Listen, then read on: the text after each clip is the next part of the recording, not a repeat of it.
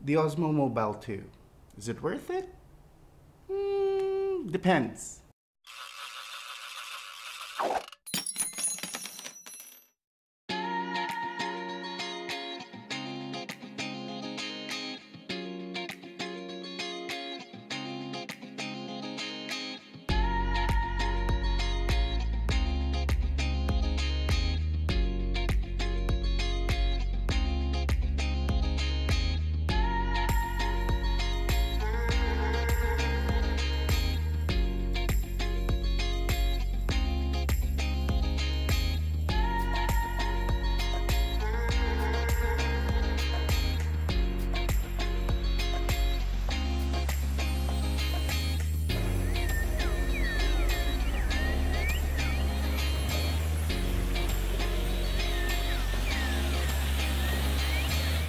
What's up guys, EiZ here because now EiZ can.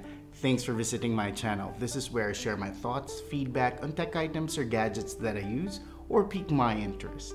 Now off the bat, let me just start by saying that the Osmo Mobile 2 is actually my very first gimbal, may it be smartphone or digital cameras. Now the Osmo Mobile 2 is running at around $140 if I'm not mistaken. I'll put some links on the show notes below so that you guys could have a look and also I'll put the DJI website for product details. But to summarize some of the features that are pretty common on gimbals, you actually have for the Osmo Mobile 2 when you use the DJI app, you can do motion time lapse, you can do ordinary time lapse, you can do a hyperlapse and you can also track a subject. So on to the question. Do you need a smartphone gimbal and you, should you be buying one? My answer is it depends.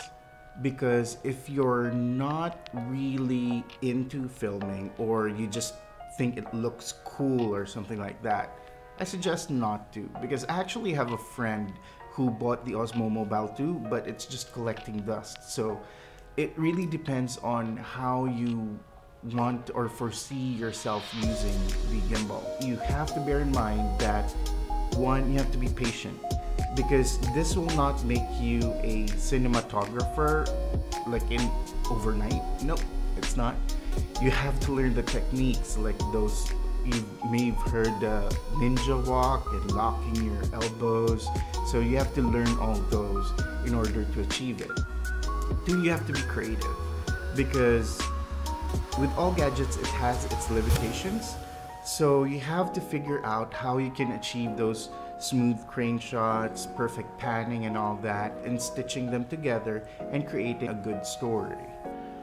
Third i think you should have the desire like what i mentioned my friend bought the osmo mobile 2 but he hasn't been using it that much so to me it's not a good investment for me, I use it for my B-rolls when I review product and also for some family gathering or events that I want to cover. And I'll share with you guys a short clip that I took of my niece, which I'm very fond of.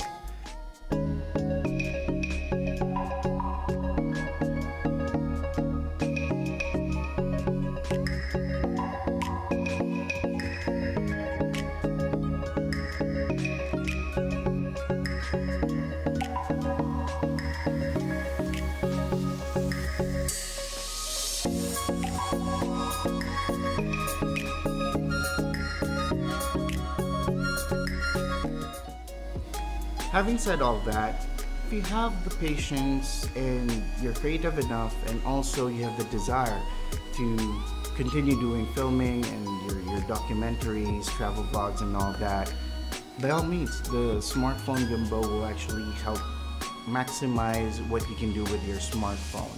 And it will help you also create smoother pictures or smoother videos to tell your story.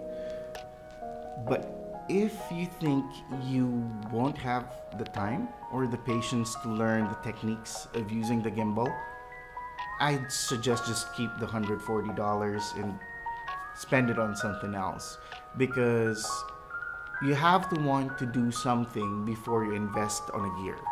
Oh, and one more thing to note. A lot of YouTube videos that you will see on smartphone gimbals are done by like professionals or people who have been on the filming scene for quite a while.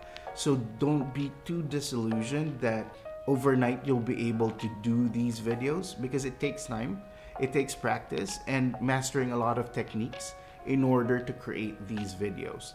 My video isn't even half as good as what they could do. So just be aware and be conscious of that fact. Well, that's about it guys. I actually just wanted to give my thoughts on the Osmo Mobile 2 or gimbal in general. Hope you found it quite helpful. If you have any questions, comments, or suggestions, feel free to leave them on the comment section below and I'll do my best to respond as soon as possible. Now, if you like this video, click on the like button and consider subscribing and hitting the bell so that you get notified if I post something new. Alright guys, until the next video, thanks again for watching and let's all remember, we're all here to learn. Peace.